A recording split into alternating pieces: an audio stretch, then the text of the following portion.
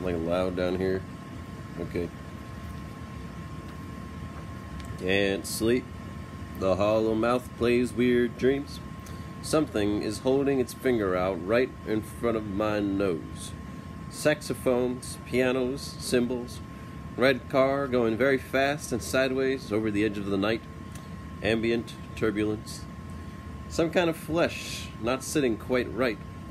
Boneful, supremely mediate, but not so very dense. What makes tones without light? Today belongs to amoebas, shifting rhythmically in the dark. I should uncross my tea legs now.